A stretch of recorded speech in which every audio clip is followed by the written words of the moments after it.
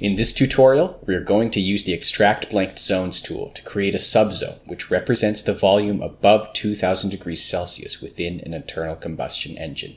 An isosurface could be used, but there are times at which the isosurface is not a closed surface, in which the plot does not accurately represent the entirety of the volumetric region. We will be using one of the internal combustion engine simulations in the Tecplot 360 Getting Started bundle. After loading the dataset, turn on value blanking to eliminate cells which are below 2000 degrees Celsius. To create a new zone from this setting, go to Data, Extract, Blanked Zones, and select the grid zone and press OK. This will create a new zone which represents the region seen above. To see the resulting zones, make sure you change the Surface to Plot setting to Boundary Cell Faces. Turn value blanking off so you can see the outer boundary again, and toggle on translucency so you can see within the cylinder.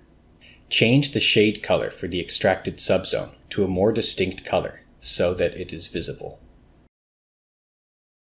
Compare this result to an isosurface, which represents temperature at 2000 degrees Celsius. You can see more clearly the amount of volume filled by temperatures above that threshold. Now that this region is a zone, it can be treated as any other data and perform operations such as integrations, data smoothing, interpolations, and data export.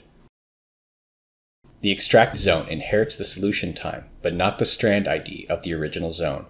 For a transient dataset, the steps of selecting each grid zone and assigning a unique strand ID using the Edit Time Strands dialog can be somewhat time consuming.